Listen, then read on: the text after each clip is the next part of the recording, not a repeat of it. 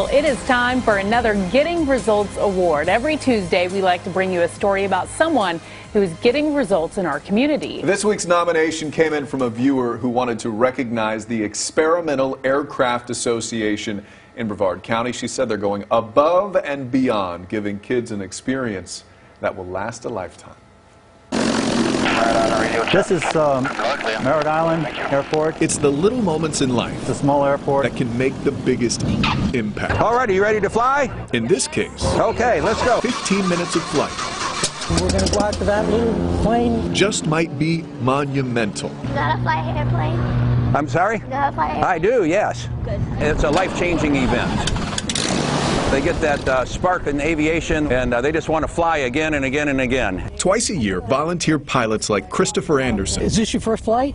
Give free rides in their own planes Well, you picked a good airplane. and at their own really, uh, expense. Have you flown a small airplane before? It's called the Young Eagles Flights. Who, who gets shotgun? For them, Me, me, uh, no! Flying is a passion. It's called the uh, the flying bug. They can't help but share. Some kids would never get a chance to fly, and uh, otherwise. Many see a younger version of themselves At in the seat okay. beside I started flying when I was 15.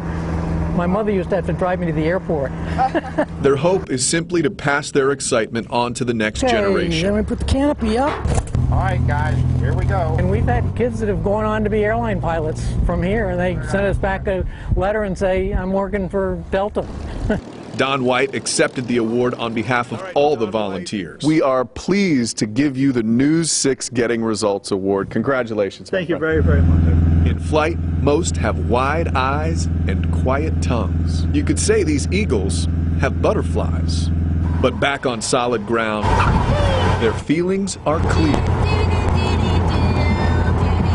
Okay, what do you think of that? That was really. Awesome, wasn't it? All right, let's go get your certificates. So, with proof of their flight in hand and a smile on their face, It was awesome. the sky's the limit. So, and that's pretty gratifying. Oh yeah, it's a good day. That's that's what we like.